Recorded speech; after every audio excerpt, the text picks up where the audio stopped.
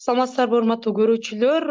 биз бүгүн борбордук азиядагы адам укуктары боюнча конгресстин жетекчиси турсунбай акын менен биргеликте азыркы учурда кемпир абад боюнча болуп аткан соттук териштирүүдөгү кишилердин катышуучулардын абалы жана негизи эле кыргызстанда болуп аткан акыркы окуялар жөнүндө сөз кылмакчыбыз саламатсызбы турсунбек агай. Алгач эле суроо ошол кеңешбек кемпир абад иши боюнча соттук э, соттук иштин иште айыпталуучулардын катарында өтүп аткан э, кеңешбек дүйшөбаев э, өз ден соолугуна карата азыр бир он беш жыйырма мүнөттөй эле убакыт болду. Чыгарылды үй камагынан чыгарылды өлкөдөн чыгып кетпөө тил менен. Негизи эле алгач ушул темадан баштасак бул мындай абалдагы кишилерди түрмөдө кармоо убактылуу кармоо жайында кармап туруу канчалык укукка туура келет мыйзамга туура келет канчалык туура? Биринчиден өзүңүз айткандай азыр жаңы эле мен акынбек мырза менен адвокаты менен сүйлөштүм. Ал биринчи май соттун чечими кабыл алынды. Үй түрмөгө чыгаруу боюнча деп мага айтты эми процедура боюнча чыгарат дейт чечим кабыл алынды. Дагы куттуктайм бул дагы ошол укук коргоочулардын адвокаттардын коомчулуктун кандайдыр бир кичине болсо дагы ийгилиги жеңиши деп эсептейм дагы сегиз биздин коомдук ишмерлер жарандар дагы калышты мен ойлойм бул боюнча өткөндө сиз жооп бергенде мен ошол толугу менен айтып берейин бүгүн айтып берейин дегенмин акынбек мырза менен да сүйлөштүм баягы ошол ал киши атайын расмий түрдө башка жака сотко катыша албагандыгы боюнча расмий түрдө сотко жазып берген экен сот уруксат берген. Анан андан тышкары кеңешбек асанбекович дагы дүйшөбаев өзү жазып берген. Мен бара албайм адвокатым жок бара албайм деген. Анан ошол жерде түрмөдө уктап мындай эс алып жаткан жеринен мындай чакырып алып жөн эле чакырып учурашабыз деп чакырып алып сильный кишилер анан бияка үч күн алып келгени уже бул эмеге келип калат да бул эл аралык адам укуктары боюнча декларациянын одоно бускандык болуп эсептелет биздин конституцияда одоно бускандык болуп эсептелет баягы күч колдонуу менен баягы өзүнүн мажбурлоосу менен өзүнүн каалоосу жок менен мажбурлоо менен күч колдонуу менен сот процессине катыштыруу да бул мындай болбошу керек бул адам укуктар декларациясында одоно бузулганы конституцияда болуп эсептелет ошон үчүн анан ага ооруп жатып калганда давлениеси көтөрүлүп ооруп жатып калганда бир нече саат бою расмий түрдө атайын баягы тез жардам жардам бербей анан баягы жеке частныйлар чакырып жардам берди деген бул дагы ошол азыр ошо жанагы жаза аткаруу кызматынын жана ошол укук коргоо органдарынын кызматкерлеринин ошол жергиликтүү укук коргоо органдарынын өтө адамдын тагдырына адамдын укугуна кайдыгер мамиле болот эгерде жаман айтпай жакшы жок ошол кеңешбек мырза ары карап кетсе же зыян болуп калса өмүрдөн ажырап калса анда кандай болот мында дагы эле бийликке сөзсүз президентке сөзсүз мына казакбай өлүп кетти андан кийин канчалаган адамдар өлүп кетти сонун анан жана абдулдаев каза болду мына ушунун баардыгы бийликке көлөкөсүн тийгизип атпайбы анан бир азыркы иштеп атат деген элдин көбү колдогон тиет сөздүн баардыгы ошон үчүн коргоо органдары бийликтин баягы тиешелүү ошол камакка тийиштүү жаза аткаруу башкармалыгы башкалар мындай көңүл бөлүш керек адамгерчилик болуш керек. Алар аларда боорукердик деген барбы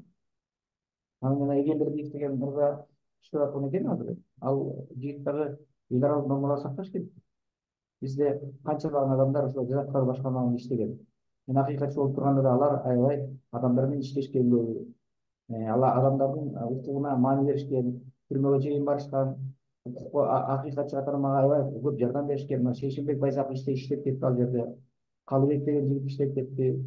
канчалаган жаза аткаруу башкармасы бул именно ошо камакта жаткандардын тагдыры үчүн аябай чоң эгембердиев деген азыркы төраганын мен аны жолугуп элекмин мен да бир эки жолу кирейин десем кабыл алган жок ал мындай мамиле кылышы мындай ат үстүнөн мамиле жакшы ошон үчүн мен ойлойм жалгыз эле азыр ким эмес кеңешбек дүйшөбаев эмес ошо ошол жана камакта турган саясий жактан күнөөлөнүп жаткан азыр иш козголуп сот жүрүп жаткан калган эми жанагы сегиз жаран дагы алардын дагы ден соолуктары жана баардыгы ойдогудай эмес адвокаттар менен сүйлөшүп атам ошол эле азымбек ден соолугу дагы ал кант диабети менен ооруйт башка давлениеси бар башка оорулары бар. Дегендей мына жеңиш молдохматовдун жана башкалардын мына өткөндө дагы айбек кулупка кол салды деп айтып атат мисалы чечимде калып айтып атат эми аны да балким кандайдыр бир деңгээлде журналисттерге мындай айтып калайын деген да эмелери бардыр баягы ичинен баягы эмеге журналисттерге эркиндеп кетип бирок эми жөн эле айтпаса шамал болбосо чөптөн башка эмне болот да жөн эле ал урду деп айтпайт да кол көтөрдү да ал кол көтөргөн бул аябай чоң чоң күнөө болуп эсептелет бул боюнча тиешелүү укук органдары жазага тартыш керек сотко иш козгоп жазага тартыш керек азыр эми иш козголду жазага тартылды ал боюнча да эч нерсе жок анткени айбек мырза макулов дагы эме кылыш керек да арызы менен кайрылыш керек атайын кайрылса керек грамотный губернатор болгон кийин азыр биз ошол кыскача кеңешбек дүйшөбаевди акыркы жолу сотко кандай алып келгендиги жөнүндө кыскача видеону көрүп алсак бул бир он секундалык эле видео. Кантип алып кирип жатышат?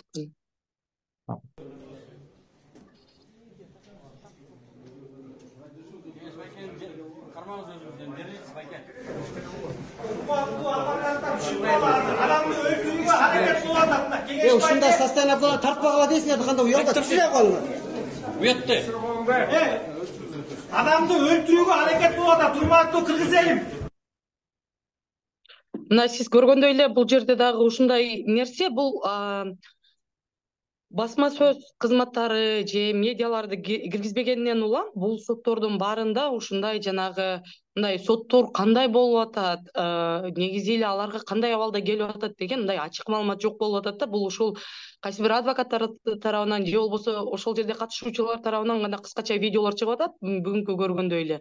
Негизи эмне үчүн бул сотту жабык өткөрүүнүн мындай жакындарын да киргизбей коюунун кандайдыр бир Э, муктаждыгы бар беле бул э, эмне себептери болушу мүмкүн?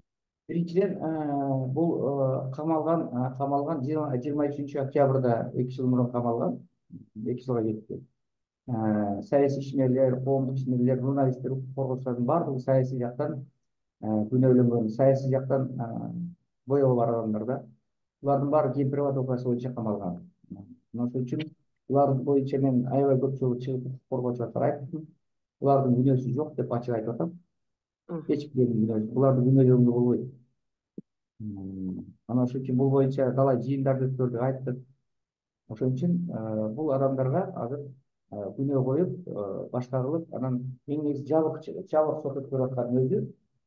бул чоң мыйзам бузуу укук коргоо органдары тарабынан бийлик органдары тарабынан айрыкча ошо сим тарабы жаза аткаруу кызматкери тарабынан кызматкерлери башкармалар тарабынан айрыкча сот тарабынан сот чечим кабыл алып атат. Азыркы сот өткөрүп аткан сот дагы тарых алдында жооп берет мыйзам алдында жооп берет жогорку соттун өкүлдөрү дагы булар дагы жогорку соттун жетекчилиги дагы бул боюнча бир ойлонуш керек. Базарбек мырзага биздин аябай чоң ишенимибиз болгон азыр деле ишенимибиз турат. Замирбек кооромаевич мырза ал киши келгенде биз аябай сүйүүнөн элек. Ушул бир жакшы реформа болобу соттор оңолобу өзү адвокат болуп садыр нуркожоевичти колдоп адвокат болуп өзү да кыйналып кысталып канчалаган кыйынчылыктарды көрүп анан өзү мына ушундай деңгээлге жеткен эле анан бир өзгөрүү болуп кетеби дегенбиз да сот системасында бирок тилекке каршы биз күткөн өзгөрүү болгон жок соттор мурдагыдай кандай болсо ошондой эле болуп калып атышат ошон үчүн мен ойлойм сөзсүз түрдө ачык сот болуш керек. Бул боюнча биз аябай чоң кыймылыштарды өткөрүп талаптарды койдук өкмөткө президентке чейин жыйырма алтынчы январда мен президент менен жолукканда ушул боюнча катуу катуу аябай катуу эки сааттай сөз болду президентке ачык айтканмын бирок тилекке каршы мына бир ай мурун да силерден чыккан элек анда анда деле айткам президент айткан биз ойлонуп көрөлү ачык сот болгонго бүт аракеттерди көрөлү тиешелүү структура менен сүйлөшөлү деген. Бирок ушуга чейин мен дагы эле мага жооп бере элек ошон үчүн ачык сот өткөрмөйүнчө болбойт. Ачык сот өткөргөн бул азыр президентке дагы азыркы бийликке дагы биздин мамлекетке да аябай керек бул жерде азыр кармалган саясий жактан жанагы кандайдыр боек менен кармалган инсандардын ошо он үч журналист болобу жыйырма жети жаран болобу азыр үй түрмөгө чыккан мындай иш козголуп атат сот жүрүп атат ушулардын баардыгына керек да бийликке керек биринчи эгер алардын мүнөзү болсо бүт ачык болот мына мондай баардыгы болбойт анан монтип кеңешбек бишибаевди абалы өтө оор абалга дагы көтөрүп келе атат муну эми коомчулук билбей атат силердин канал берип атат башка каналдар анча мынча частный каналдар берип атат болду ошо менен азыр кыргыз коому бул боюнча билген жок жабык койгон бул өзү ачык эмес да соттун баары ачык болуш керек. Ошон үчүн буларды жабык сот өткөн өзү кылмыш жабык сот өтүп аткан өзү бул бул кылмышка тете нерсе да эч качан ачык сөз өтсө бийликтин өзүнө жакшы президенттин өзүнө жакшы алардын күнөөсү болсо эми акча таратып атканы боюнча элди үгүттөп чакырык кылып атканы боюнча анда элдин баары билип турат а эгерде эгерде алардын күнөөсү жок болсо ал да көрүнүп турат күнөөсү жок болсо ал да көрүнөт и менимче ошондой болуш болуш болушу күтүлүүдө да көрүнөт анан анан кийин анан жанагы тиешелүү прокурорлор милициялар тергөөчүлөр ошолордун баары жууп атат мына аларды эки жылга чукул ушуга чейин кармап кыйнап кыстап жатканы боюнча үйлөрүн ажыратып кармап эркиндигин ажыратып жаткан боюнча алар мыйзамдуу жооп бериш керек а биздин абалда карганын көзүн чукпайт деп ойлойт да бул туура эмес биз эми укуктук мамлекеттин жыйырма биринчи кылымды жашап атабыз биз борбордук азияда демократиянын аралчасы деген укуктук мамлекет курганбыз биз мына өмүрүбүздүн баарын укуктук демократиялык коом деп арнап келатабыз укуктарга жагынан анын эми бул мындай укук коргоогундар мындай кылбаш керек сөзсүз түрдө мамлекет башчы урматтуу садыр нуркожоевич мына ушул тиешелүү чечимдерди кабылыш керек потому что ал киши мамлекеттин адам мамлекеттин коомдун адам укугунун жана эркиндигинин коргоочусу болуп эсептелет мына атайын глава ошол главада атайын айтылган президент деген баары биздин ушу жарандарыбыздын укугун коргоогон эң чоң кызматтагы адам. Бул жазып президент конституциянын адамдын жана жарандын укуктарынын жана эркиндиктеринин кепили болуп символ гарантиясы президент ошо конституцияны конституция бузулуп атат да адамдын укуктары бузулуп атат конституция а мына ушундай кезде президент сөзсүз түрдө чара көрүш керек жогорку судьяларына потому что президенттин өкүмү менен эмеси менен эмеси чечими менен далайык соттор билесиңер президент кол коет ошонун баарын андан тышкары жогорку кеңеш да бул боюнча чечим кабылыш керек жарым соттор жогорку кеңеш тарабынан шайланат өзү жогорку соттун судьялары анан андан тышкары тиги президент өзү өзү бекитет указ менен жергиликтүү соттордун баардыгын мунун баарына чара жаңы бийлик келип азыр канчалаган жакшы иштер жасап атат деп айтып атабыз дайыма коргонуу жагында социалдык жакта экономикалык жакта экономика көтөрүлүп атат карыздарды төлөп атабыз көп иштер жасалып атат анан улам улам айтып атат бирок бул адам укугу сөз эркиндиги демократиянын муутулуп жаткандыгы журналисттердин камалгандыгы саясатчылардын камалгандыгы айрыкча мына жабык сот өтүп аткандыгы ачык эмес жабык сот. Элден угудан азып жашыруун азып бул адам укугунун ордуна болуп эсептейт мен ойлойм эмне үчүн бул балдарды биз эметип атабыз мына өткөндө дагы эле айтып коеюн мына кыргыз мына адам укуктарынын жалпы декларациясын декларацияны кырк сегизинчи кабыл декларациянын негизинде он тогузунчу статья жазылып турат мына дагы айтат ар ар бир адам оюн эркин билдирүүгө эркин билдирүүгө укуктуу ар бир адам эркин жыйырманчы статьяда жазып ар бир адам тыш жыйындарды өткөрүүгө укуктуу дейт мына ошол кемпирабадда камалгандар биринчиден оюн эркин билдиришти экинчиден тынч жыйындар комитет жыйындарды өткөрүү бул экөө тең конституцияда эсик бузулган жок. Ал эми мына бул эме декларация боюнча. Ал эми конституциянын мына отуз экинчи статьясында отуз экинчи статьясында мына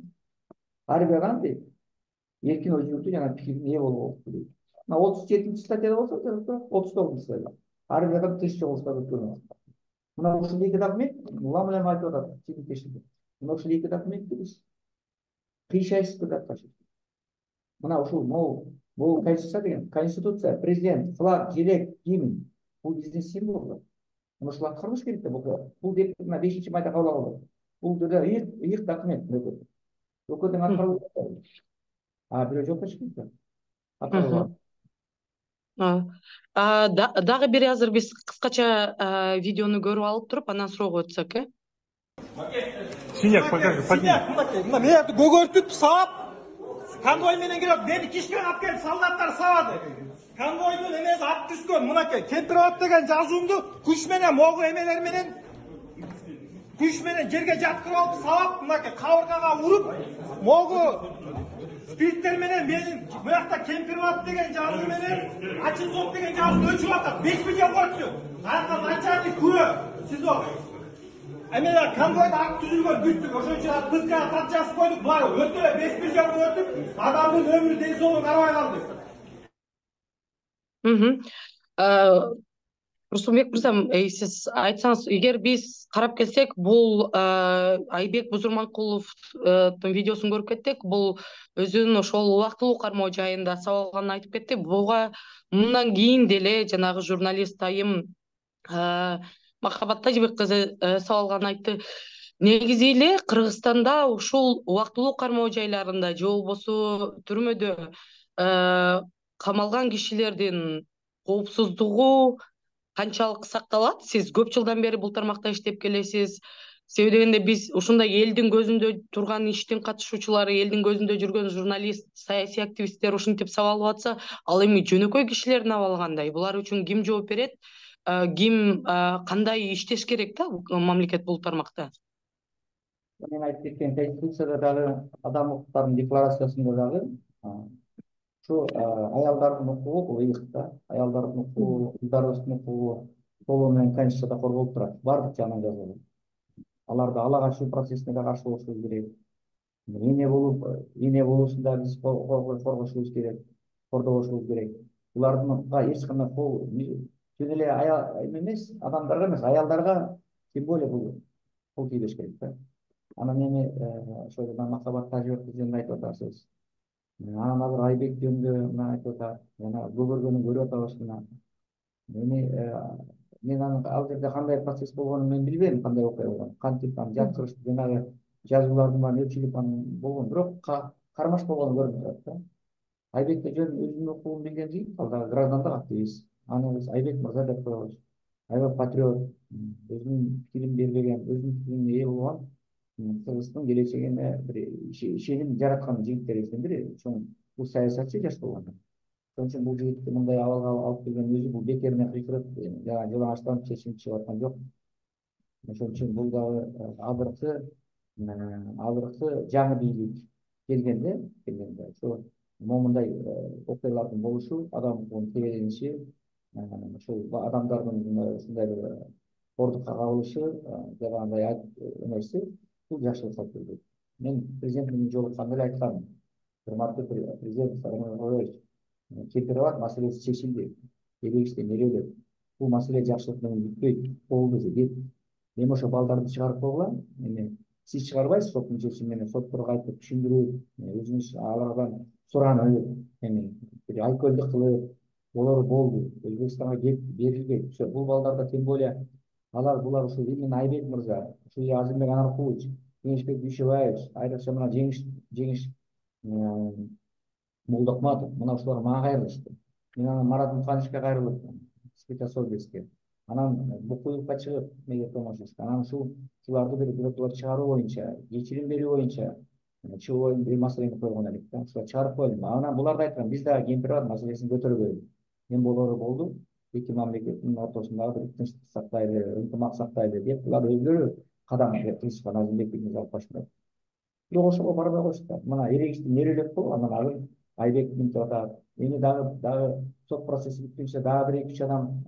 ушундай корголушу мүмкүн иштөтө анан дагы жаман айтпай жакшы жок деп кырсык болуп кетсе эмне болот арыстанбек абдулдаев сыяктуу кырсык болуп кетсе эмне болот арыстанбек алай сыяктуу анан болуп адам зыян болуп калса эмне болот ушунун баардыгы эле азыркы бийликке көз жапкан нерсе болуп атпайбы бул адам укугун одуна бузган эми азыр эми мен айбекти жактайын деген алысмын айбекте жөн турган жок балким ал дагы аракет кылды баягы коргонду балким ал дагы мындай алар менен кармашты жатышты камакта ал баягы капастагы турна капастагы бир чымчык тигилердин баягы куралданган кийими бар бийлиги бар адамдар бар жалгыз эмес ондогон жашайт көрдүңүзбү ал бул жалгыз кармашкан күндө да бул эмне эмне эмне алып жетет ошон үчүн бизде дүйнөлүк коомчулук деген бар. Human rights watch деген уюм бар. Amnesty international деген уюм бар. Freedom house деген адам укугу уюмдар бар. Биз совет патронаттык адам укугу боюнча коргоо кеңешине мүчөбүз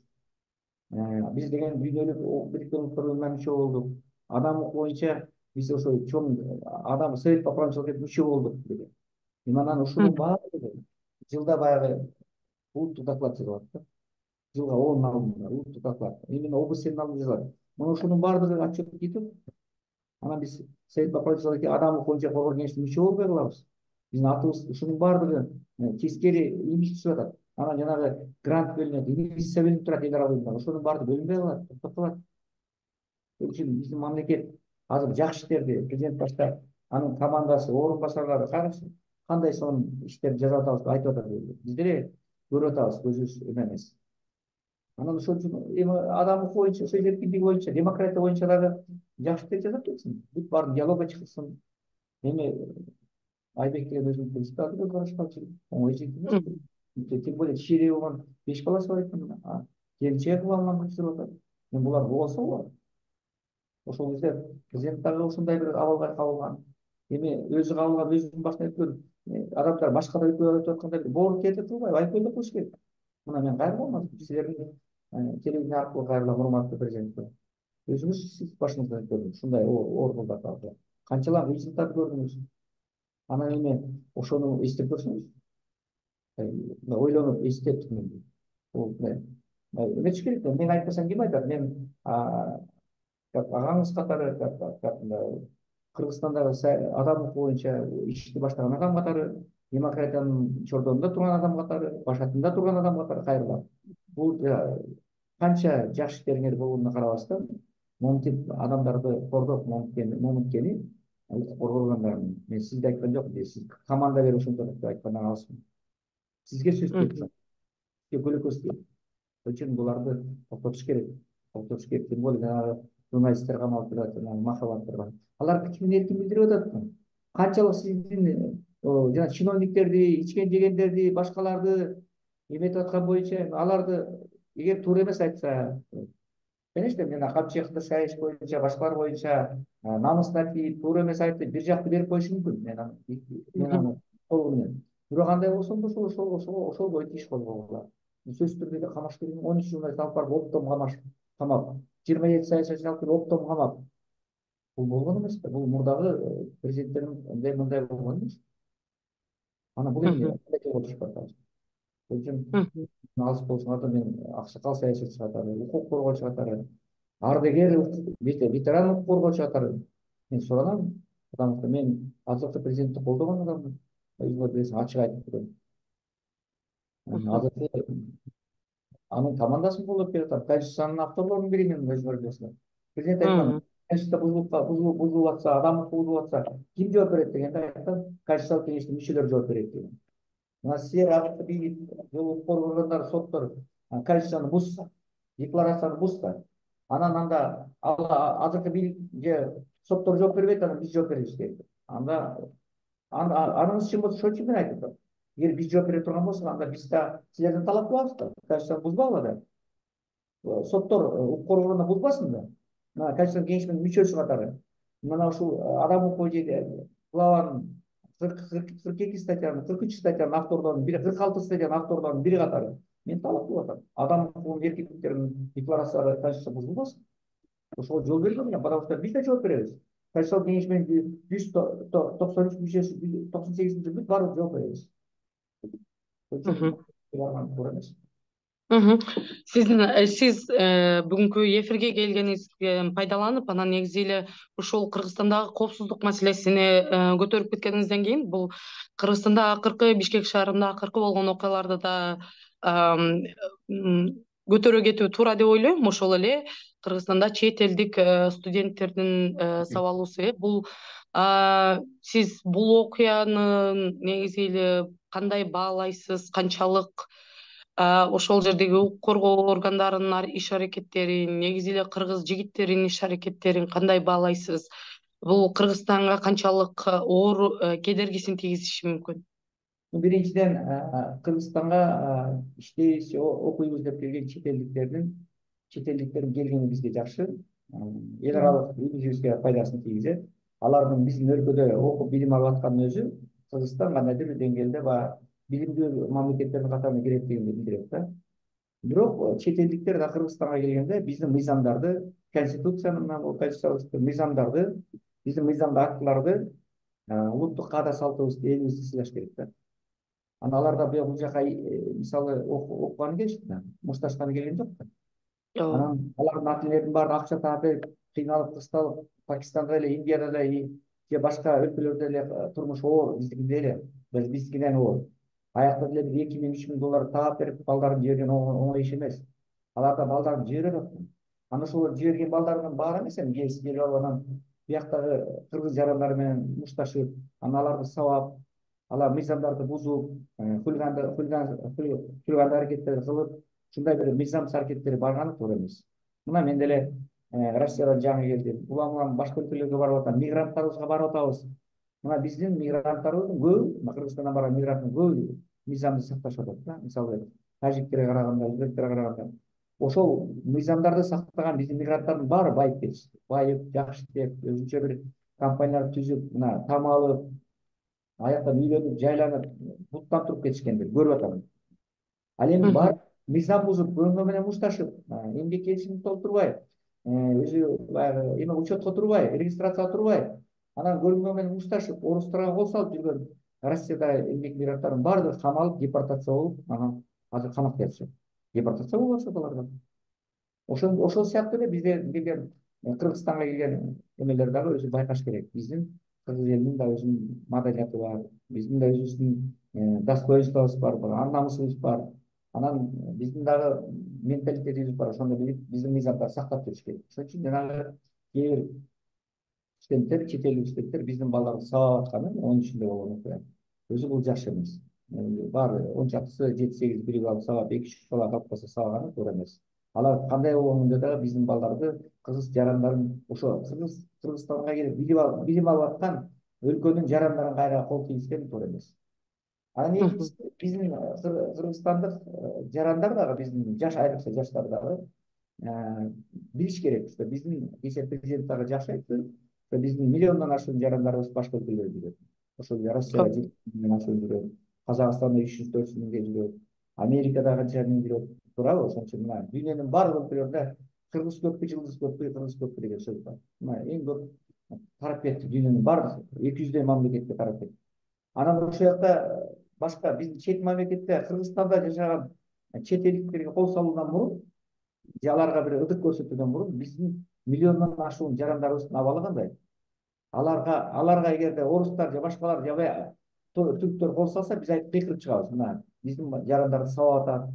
адам укугун тебелеп атат куштай бастырып атат мына алар депортация кылып атат деп барып кыйкырып атабыз айтып атабыз мен жакында россиядан келдим екатеринбургду кыдырдык санкт петербургко бардым башка москвага бардык кыдырып алар орустарга замечание кылып келип атабыз. Анан биз замечание кылуудан мурун өзүбүздүн өлкөбүздө кыргызстаныбызда окуган чет элдик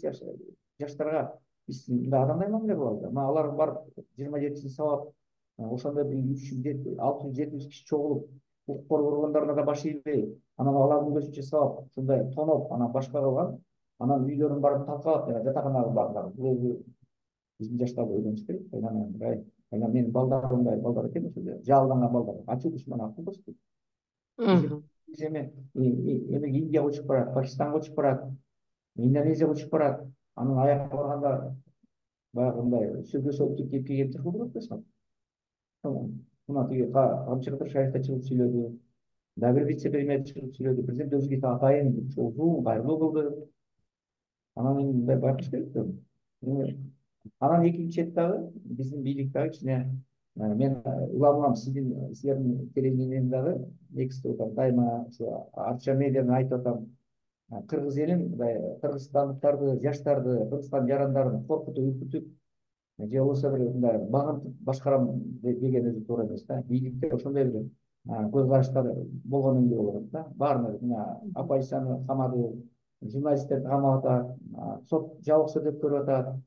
ошондой көрүп атат же болбосо анан элдин баарын эле биз башкарып алабыз анан тинтип алабыз деген сыяктуу бир көз караш орун алган сыяктуу атат анан мына кечеги он жетисине он сегизине караган түндөгү көрүнүш көрсөттү го жети жүз адам чыкканда эмне болуп калды? Жанагы укук коргоо органдары милициялар кандай абалда туруп атат? Байкаш керек. Эч качан элди мындай эмеге өлтүрүш керек да? Конечно кол салбаган жакшы болду туура болду бирок жана жаштар менен сүйлөшүп баягы эметкендер туура болду президент дагы саташбаев дагы туура эмелерди кылышты бирок мурдагы ушундай боло бербейт туурабы бул дагы жайылып кетсе анан ал саясий процесске аралашып кетсе анда кандай бир чагымчылдар дагы эметип кетсе күчөтүп эмне болот анан бийликте байкаш керек да эл деген биздин эл аябай араң эле турат араң эле эметип кетиши мүмкүн да бир сөз туура эмес сөз айтсаң эле көтөрүлүп кете турган ошон үчүн чагымчылыкка жол бербеш керек чагымчылык бул жакшы эмес чын эле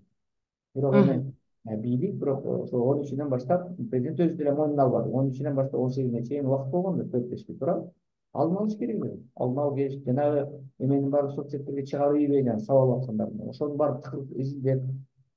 оппозицияны кармаганда камаганда ошондой эле эффективдүү аябай эле жемиштүү кармадык го дейм э ийгиликтүү түрдө камап үйүнөн алып чыгып ошондой эле жанагы кылмышкерлерге карата чет элдик студенттерди урган жаштарга карата дагы ким ким ошону урса башка кылса ошолорго да ошондой оперативдүү мамиле кылыш керек болчу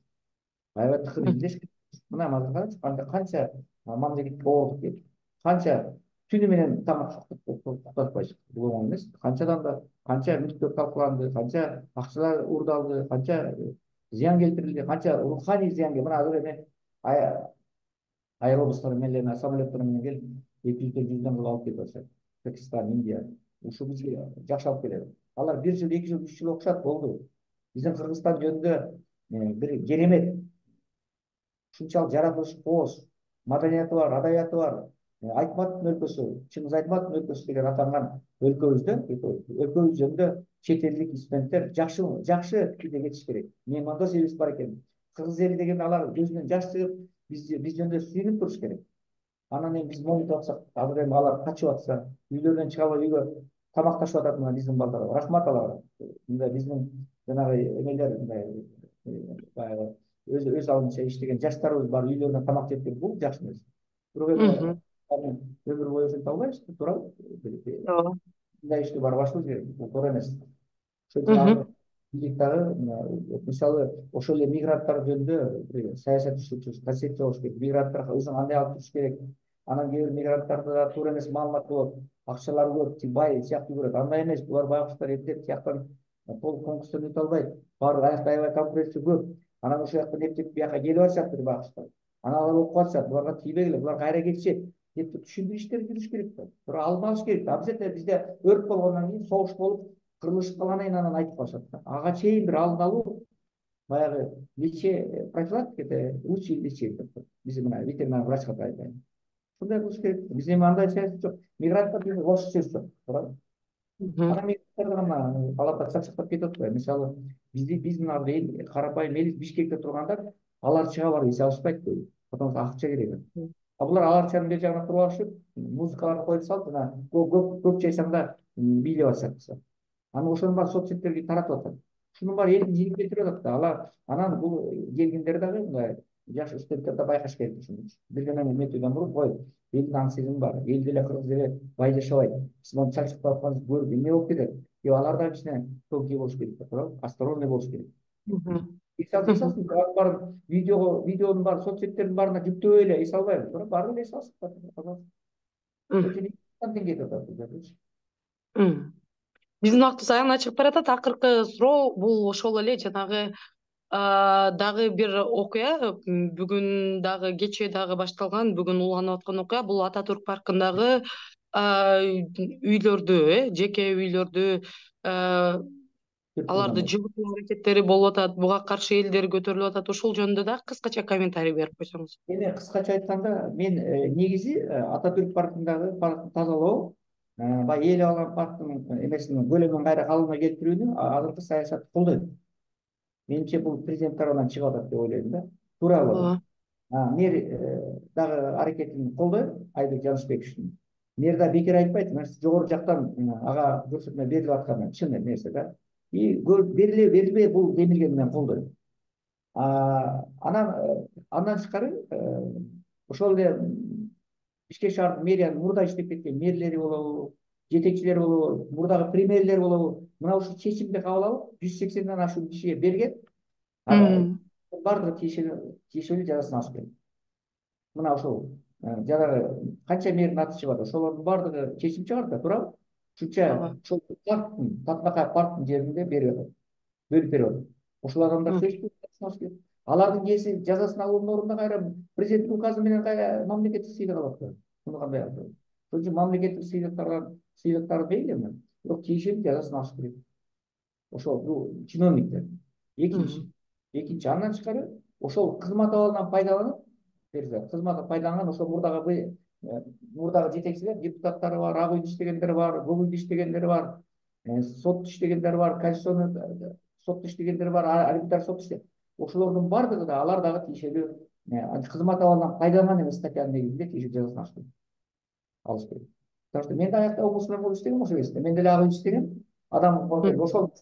мен да алсам болот кызмат алдым бирок мен абийир мага жол берди кантип алам кантип кантип барып басып алып үй салып алам абийир кантип ошол жол берет анан ошол жанагы ошол жерден үй алгандардын көбү көбүнүн ушул кан сарайлары бар. Кан сарайлары бар бар. Ошого карабай ошол жердеги акчасын сатып ийин деп алды да өлүп баратат да. Ал кээ бир үйлөрдө ондон киши бар киши бар шаарда жашайт жашайт ошолордун үйлөрү жок баягы шаардан бир сотук үй ал дейт ошолор алсын дебейби жок дебейби ошол анан так что колдойм бирок экинчи жагы бар. Ошо колдон колго сатып атып кээ бир адамдар добропорядочный толкап алган туура мисалы бир жигит айтты мен москвада өмүр бою иштеп келдим ушул үйдү салдым эми мындан кийин бул мындай үй сала албайм мен уже менин ден соолугум жол бербейт деп атат мына ушундай баягы жүрөгүнөн сатып алгандар бар эч кандай саясаты жок эле барып тиги кызмат пайдаланып мына ушундай адамдарга мэрия пожалуйста кандай да. Жол жолун тапсын да акчасын төлөп берсин түрттүрсүн бирок акчасын толугу менен төлөп берсин акчасын ошондой ошон үчүн адам анан анын дагы жөн эмес соттун чечими менен бузсун баардык үйдү бузганда соттун чечими менен бузсун акчасын толугу менен төлөп берсин анан аларды аларды кыйнап алардын адам укугун тебелеп анан парк эметкен өзү туура эмес парк тазалаганды колдойм бирок адамдардын укугун тебелей берсин соттун чечими менен гана эметиш керек. Бирок негизи бул анан айбек жагышбековдун аракетин бул аракет көрүп атканы бул жакшы эмес анын ордуна башка бирөө келсе да ошону жасаш керек да анан бул анан ушул эле эмес десем мына токсонунчу жылдан бери тааламай калдык мамлекеттик менчикке имараттарды эми садиктардын баарын приватташтырып алышты мекемелерди приватташтырып алышты. Мына раз президент садыр нуркожоевич ушул паркты баштап атабы эми бүт ошол токсонунчу жылдан бери талап тоногон кызмат абалынан пайдаланган чиновниктердин үстүнөн иш козгоп мына ушул тоногон объекттердин баарын калыбына келтиришти не только паркты. Канчалаган мамлекеттик мекемелердин баары тоноолуп кетти канчалаган детсадтардын баары тоноолду жердин баары тоноолду не только парк эмес мекемелердин баары тоноолуп эме менчиктешилип кетти ошонун баары ошону баштаса президентти ого тирей колдойт ошону башташ керек как оор болсо анан кийин мындан кийин паркты басып алгандар башка алгандар эртең кеч все равно акыры акыры бул ак ыйлеп бирок сынады все равно мыйзамдын алдында экенбиз деп эч ким тийбей калат ооба чоң рахмат. Урматтуу көрүүчүлөр биз бүгүн борбор азиядагы адам укуктары боюнча конгресстин жетекчиси турсунбек акун менен бирге кыргызстандагы акыркы окуяларды анын ичинде кемпир абад окуяларынын катышуучусу негизи эле коопсуздук маселелери жөнүндө сөз кылдык келип бергениңизге чоң рахмат. Алып барган мен перизат сайтбурхан кийинки берүүлөрдөн көрүшкөнчө сак саламатта туруңуздар